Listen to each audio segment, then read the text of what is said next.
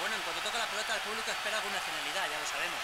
Ahí tuvo verdadero instinto matador, porque en cuanto recibió la pelota, la gente sabía lo que iba a hacer. Los aficionados muestran ruidoso su disgusto y desagrado en todo el estadio por ese gol que ha encajado el equipo.